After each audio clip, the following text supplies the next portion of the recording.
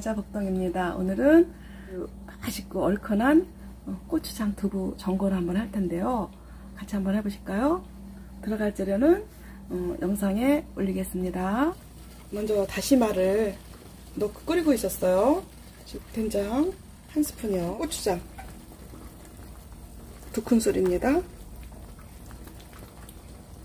저는 이제 집된장이라 한 스푼 넣는데 음, 좀 저는 간이 좀 이게 좀 간간하거든요. 다시마는 이제 건져줍니다. 이렇게 놓고 건지는 게 좋은 게 덩어리까지 된장 덩어리 같은 거 혹시 있으면 건져지니까 저는 이렇게 합니다.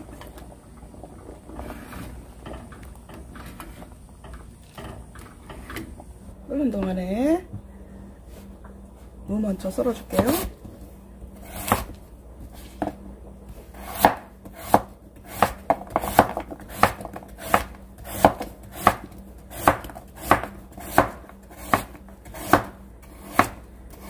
여기다 물을 좀 넣어주세요.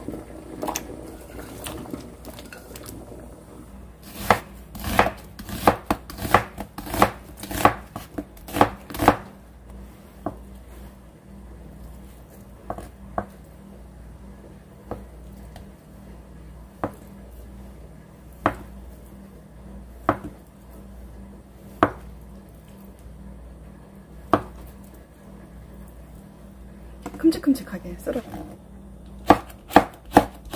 이거는 청양고추라 좀 잘게 썰어주시고요.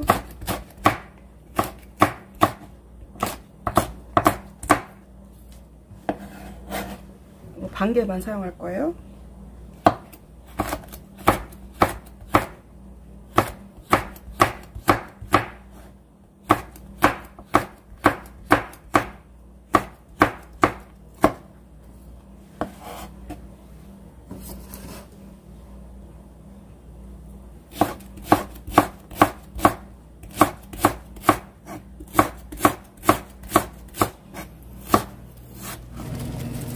양파 좀 넣어주시고요.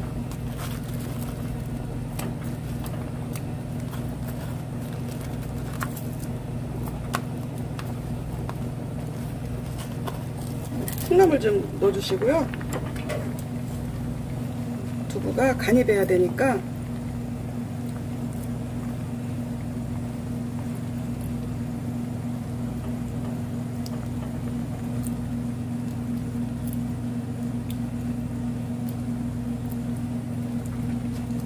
청양고추 먼저 넣어주시고요. 3분 정도 끓여주세요. 고추. 고추 좀만 넣어주시고요. 간은 이제 가감하시면 됩니다. 마늘은 반 스푼만 넣어주세요.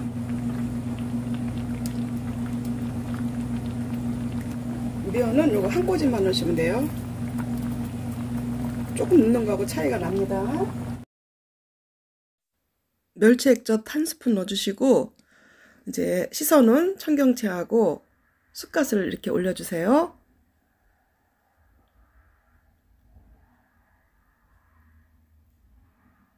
냄새가 아주 좋습니다. 자 이렇게 넣어주시고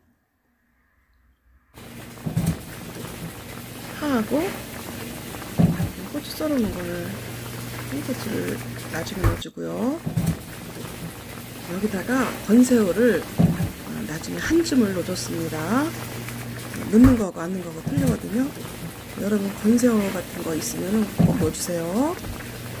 자 이제 완성입니다. 맛있게 해서 드세요. 사랑한다 감사합니다.